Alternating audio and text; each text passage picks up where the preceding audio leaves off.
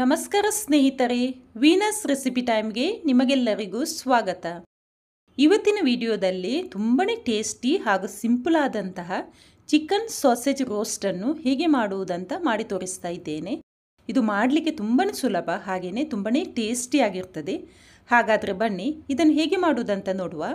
ಅದಕ್ಕಿಂತ ಮೊದಲು ನನ್ನ ಚಾನಲ್ಗೆ ಹೊಸಬರಾದರೆ ದಯವಿಟ್ಟು ಸಬ್ಸ್ಕ್ರೈಬ್ ಮಾಡಿ. ಹಾಗೆಯೇ ಇವತ್ತಿನ ವಿಡಿಯೋ ನಿಮಗೆ ಸ್ವಲ್ಪ ಆದರೂ ಯೂಸ್ಫುಲ್ ಹಾಗೂ ಇಷ್ಟವಾದರೆ ಇದಕ್ಕೊಂದು ಲೈಕ್ ಕೊಡಿ, ನಿಮ್ಮ ಫ್ರೆಂಡ್ಸ್ ಮತ್ತು ಫ್ಯಾಮಿಲಿ ಜೊತೆ ಶೇರ್ ಮಾಡಿ. ನಾನಿಲ್ಲಿ ನೂರೈವತ್ತು ಗ್ರಾಮಿನಷ್ಟು ಚಿಕನ್ ಸಾಸೇಜನ್ನು ತಗೊಂಡಿದ್ದೇನೆ. ಇದು ಈ ಥರ ಸಪೂರದ್ದು. ಈಗ ಇದನ್ನು ಯಾವ ಥರ ಕಟ್ ಮಾಡೋದಂತ ನೋಡುವ. ನಾನು ಇದನ್ನು ಈ ಥರ ರೌಂಡಾಗಿ ಕಟ್ ಮಾಡಿದ್ದೇನೆ. ನಿಮಗೆ ಯಾವ ಥರ ಬೇಕು ಇದನ್ನು ಕಟ್ ಮಾಡ್ಬೋದು. ಸಪೂರ ಬೇಕಿದ್ದರೆ ಸಪೂರಕ್ಕೆ ಮಾಡ್ಬೋದು. ನಾನು ಸ್ವಲ್ಪ ದಪ್ಪ ಮಾಡ್ತಾ ಇದ್ದೇನೆ. ನೋಡಿ, ಇದನ್ನೆಲ್ಲ ಈ ಥರ ಕಟ್ ಮಾಡಿ ತಗೊಂಡಿದ್ದೇನೆ.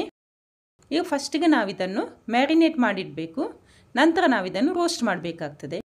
ಈಗ ಫಸ್ಟಿಗೆ ನಾನು ಇದಕ್ಕೆ ಕಾಲು ಸ್ಪೂನಿನಷ್ಟು ಮೆಣಸಿನ ಹುಡಿ, ಕಾಲು ಸ್ಪೂನಿನಷ್ಟು ಗರಂ ಮಸಾಲ ಪುಡಿ, ಸ್ವಲ್ಪ ಅರಿಶಿನ ಹುಡಿ, ಇಷ್ಟನ್ನು ಹಾಕಿ ಒಳ್ಳೆ ರೀತಿಯಲ್ಲಿ ಇದನ್ನು ಮಿಕ್ಸ್ ಮಾಡಬೇಕು. ಮಸಾಲೆ ಎಲ್ಲ ಒಳ್ಳೆ ರೀತಿಯಲ್ಲಿ ಈ ಸಾಸೇಜಿಗೆ ತಾಗುವ ಥರ ಚೆನ್ನಾಗಿ ಮಿಕ್ಸ್ ಮಾಡಬೇಕು. ಇದಕ್ಕೆ ನಾನು ಉಪ್ಪನ್ನು ಸೇರಿಸಲಿಲ್ಲ. ಯಾಕೆಂದರೆ ಈ ಸಾಸೇಜಲ್ಲಿ ಉಪ್ಪು ಇರ್ತದೆ. ಅದಕ್ಕೋಸ್ಕರ ಇದಕ್ಕೆ ಉಪ್ಪನ್ನು ಸೇರಿಸಬೇಕಾಗಿಲ್ಲ. ಈಗ ಇದನ್ನು ಹತ್ತರಿಂದ ಹದಿನೈದು ನಿಮಿಷ ಮ್ಯಾರಿನೇಟ್ ಮಾಡಲಿಕ್ಕೆ ಇಡಬೇಕು. ನಂತರ ಅಷ್ಟೇ ಇದನ್ನು ರೋಸ್ಟ್ ಮಾಡಬೇಕು. ಈಗ ಇದಕ್ಕೆ ಮಸಾಲೆ ಪೌಡರನ್ನು ರೆಡಿ ಮಾಡಬೇಕು. ಅದಕ್ಕೆ ಈಗ ಒಂದು ಪ್ಯಾನ್ ಇಟ್ಟು ಪ್ಯಾನ್ ಚೆನ್ನಾಗಿ ಬಿಸಿಯಾದ ಮೇಲೆ ಒಂದು ಸ್ಪೂನಿನಷ್ಟು ಕೊತ್ತಂಬರಿ ಬೀಜ, ಅರ್ಧ ಸ್ಪೂನು ಜೀರಿಗೆ ಕಾಲು ಸ್ಪೂನಿನಷ್ಟು ಸೋಂಪು. ಇಷ್ಟನ್ನು ಹಾಕಿ ಇದನ್ನು ಒಳ್ಳೆ ರೀತಿಯಲ್ಲಿ ಫ್ರೈ ಮಾಡಬೇಕು. ಎರಡರಿಂದ ಮೂರು ನಿಮಿಷ ಚೆನ್ನಾಗಿ ಫ್ರೈ ಮಾಡಿ ನಂತರ ಇದು ತಣ್ಣಗಾದ ಮೇಲೆ ಇದನ್ನು ಪೌಡರ್ ಮಾಡಬೇಕು. ಇಲ್ಲಿ ನಾನು ನಾಲ್ಕು ಸ್ಪೂನಿನಷ್ಟು ಎಣ್ಣೆಯನ್ನು ಬಿಸಿ ಮಾಡಲಿಕ್ಕೆ ಇಟ್ಟಿದ್ದೇನೆ. ಎಣ್ಣೆ ಚೆನ್ನಾಗಿ ಬಿಸಿ ಆಗಬೇಕು. ಚೆನ್ನಾಗಿ ಬಿಸಿಯಾದ ಮೇಲೆ ಮ್ಯಾರಿನೇಟ್ ಮಾಡಿಟ್ಟಂತಹ ಸಾಸೇಜನ್ನು ಇದಕ್ಕೆ ಹಾಕಬೇಕು. ಸಾಸೇಜನ್ನು ಹಾಕಿ ಲೋ ಫ್ಲೇಮಲ್ಲಿ ಇದನ್ನು ಚೆನ್ನಾಗಿ ರೋಸ್ಟ್ ಮಾಡಬೇಕು. ಇದರ ಕಲರ್ ಕಂಪ್ಲೀಟಾಗಿ ಚೇಂಜ್ ಆಗಬೇಕು. ಹಾಗೆ ಇದು ಚೆನ್ನಾಗಿ ಬೇಯಬೇಕು. ಅಲ್ಲೇ ತನಕ ನಾವು ಇದನ್ನು ರೋಸ್ಟ್ ಮಾಡಬೇಕು.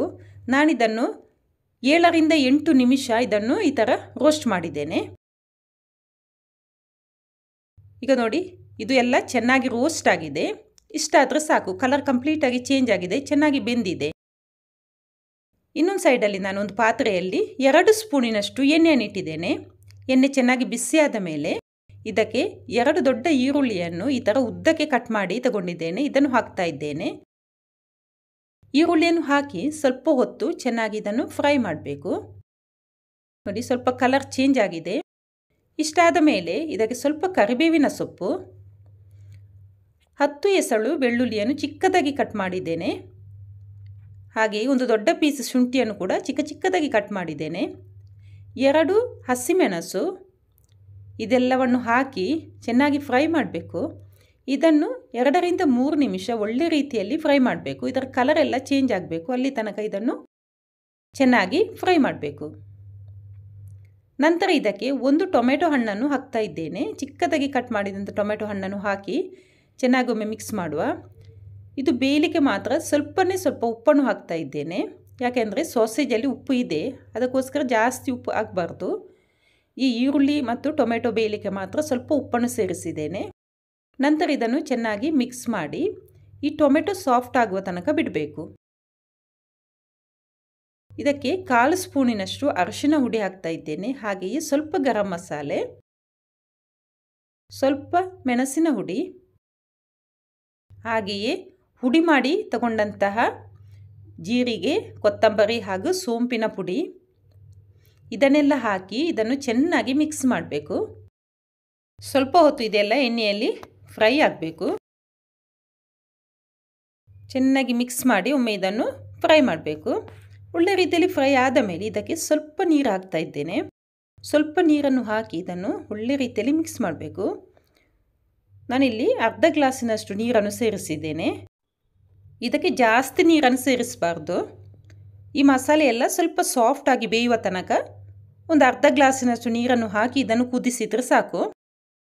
ಯಾಕೆಂದರೆ ನಾವು ಇದನ್ನು ಡ್ರೈ ರೋಸ್ಟ್ ಮಾಡ್ತಾ ಇದ್ದೇವೆ, ಜಾಸ್ತಿ ನೀರಿನ ಅವಶ್ಯಕತೆ ಇಲ್ಲ. ಈಗ ಇದನ್ನು ಕುದಿಲಿಕ್ಕೆ ಬಿಡಬೇಕು, ಚೆನ್ನಾಗಿ ಕುದಿ ಬರಬೇಕು. ನೋಡಿ ಈಗ ಇದು ಚೆನ್ನಾಗಿ ಕುದಿ ಬರ್ತಾ ಉಂಟು.